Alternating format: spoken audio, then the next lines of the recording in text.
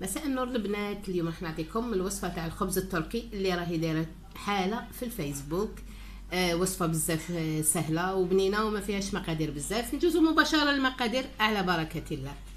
bon أول حاجة كاين نص كاس زيت. أنا درت un بين زيت زيتون وزيت sans goût.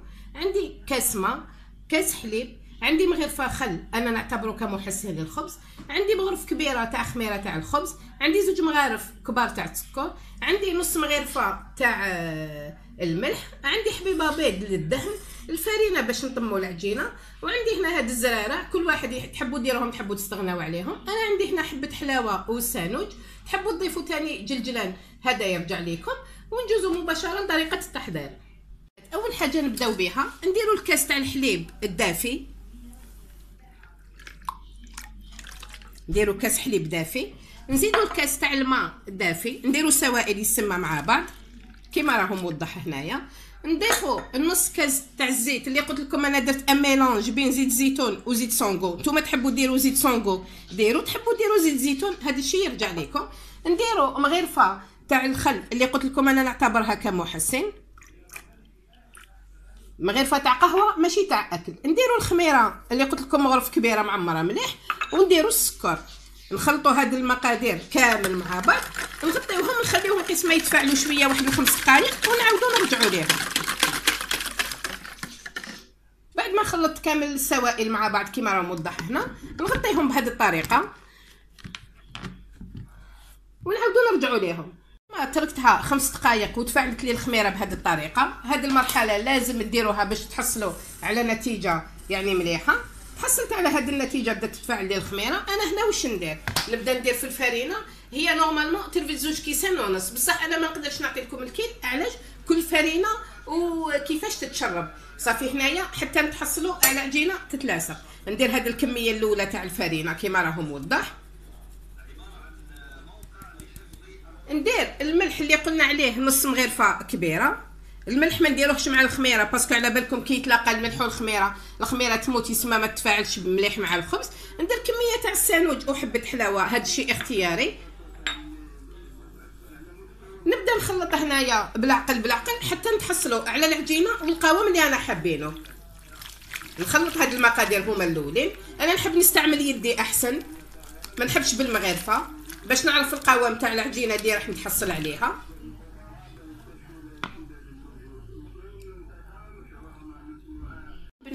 العجينه ديالي تحصلت على هذا القوام كما راهو موضح هنا. دوك نطم العجينه هنا مليح. ندهن ال récipient تاعي ولا البسينة اللي خدمت فيها اللي قلت لكم عليها البارح يسمى des bassines spécial تخمار نطم la pâte تاعي بهذه الطريقة. نتحصلوا على هذه العجينه شوفوا كيفاش تتلاصق شوية.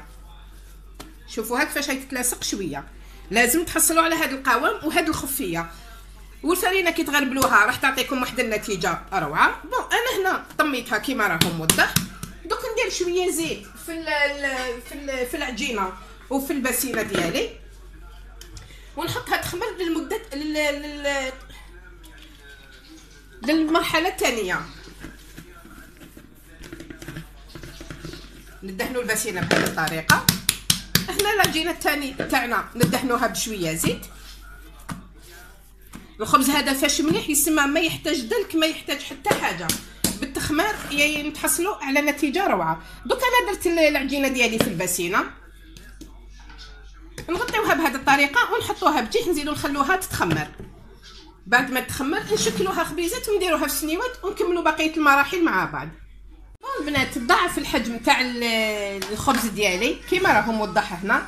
يعني ضاعف ما شاء الله.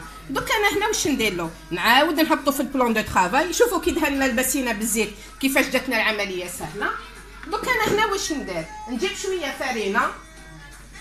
استناو باش تشوفوني هكذا. نجيب شوية فرينة. نرش هكذا من الفوق باش تجيني الخدمة سهلة. نعاود نهبط الخمور. كيما راكم كيما راهم موضح هنايا. هنا راح دير لي بإذن الله تعالى ثلاثة خبزات. نقطعوا بلا كوبات. نشكلوا خبيزات. قد الحجم قد بعضهم نحاولوا نديروا الحجم قد بعضهم. واللي ما تعرفش توزن. تقسم العجينة على ثلاثة. الكمية اللي عطيتها لكم دير لكم ثلاثة خبيزات ما كبار ما صغار. دوك نشوفوا الحجم تاعهم السنيوه اللي راح نطيب فيها. نخدموا بهذا الشكل. كيما راهم موضح هنا. دوك أنا نشكلهم بهذه الطريقة. ثلاثة خبيزات كيما راهم موضح هنايا. دوك نبدا نحلهم باش نخليهم يخمروا للمره التاليه كل خبزه نحلها نديرها في سنيوة. دوك نحلوهم على بركة الله مع بعض. نحلوهم بهذه الطريقة. أنا راح نطيبهم في السنيوه تاع البيتزا باسكو طيبت فيها من قبل. عطاتني نتيجة ما شاء الله. وهي السنيوة هذه تطيب الخبز ولا les pizzas ولا n'importe quelle حاجة طيبهم آه، بطريقة آه، روعة. يسمى même le prix تاعهم raisonnable يديروا 30000 ماشي حاجة كبيرة. أنا دوك نحل بهذه الطريقة كيما راهو موضح يسمى même العجينه كي روبوزيت راهي تمد لي الطوع في الحلان. نحلوها بشكل دائري. حليتها بهذه الطريقة حطيتها في السنيوة ديالي. علاش حليتها في ال plan de travail قبل في السنيوة؟ parce que السنيوة تاعنا متقوبة من التحت. باش ما تخرج لي la pâte حليتها في ال plan de travail حطيتها في السنيوة هنا كيما راه موضح. السمك تاعها 1 سنتيمتر دوك نعاود نخليها تخمر للمرة الثالثة باش نديروا لها les traces تاعنا من الفوق. يسمى نزوقوا هذا الخبز من الفوق بالطريقة اللي شفناها الخبز التركي. وندخلوها طيب نكمل أنا الخبيزات تاعي في الحلان ونعاودو نرجعو. bon البنات بعد ما خمر لي الخبز كيما راه موضح هنا هنا نبدا ندير فيه آه هاد آه هاد التزواق هاد كيما نقولوا اللي يديروه الأتراك من الفوق. بهذه الطريقة بصبعتينا برك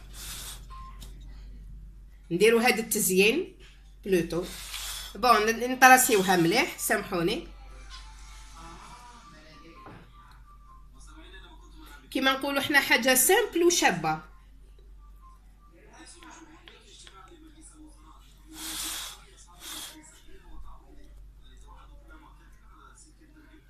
نكمل بهذه الطريقة كامل. حبيبة تاع البيض اللي قلت لكم عليها. هاي ليك.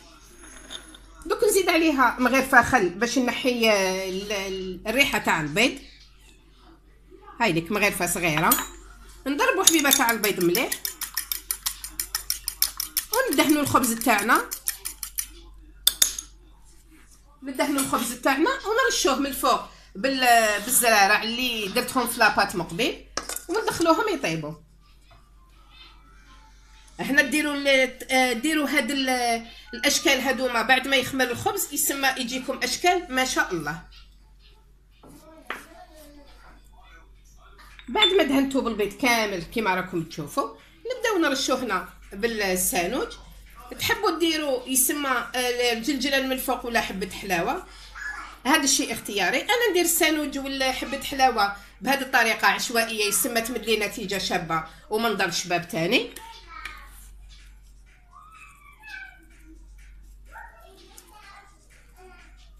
دوك ندخلوه مباشرة. يطيب على 200 درجة ونحطو السنيوه في الوسط تاع الكويزينيير.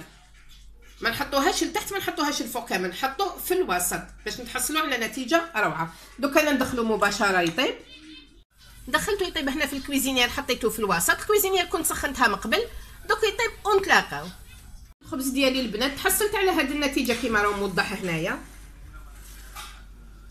طاب ما شاء الله روعة راهو سخون. شوفوا من تحت كيفاش طاب. عطاني هذه النتيجة. دوك أنا هنا واش ندير له أنا من عشاق زيت الزيتون. نحب ندير له مسحة خفيفة كيما راهو موضح هنا. نمسحو كامل بزيت الزيتون باش ندي الذوق تاع زيت الزيتون ويمدلو لمعة. ما شاء الله. دوك نقسم لكم الخبزة. كيفاش تحصلت عليها من الفوق يسمى عطيت لكم واحد واحد الوصفة تاع خبز تركي مع بعض الإضافات. ديالي تتحصلوا على واحد النتيجة بما أنه العيد راهو جاي تحصلوا على نتيجة ولا اروع دوك نقسم لكم الخبزة مع بعض.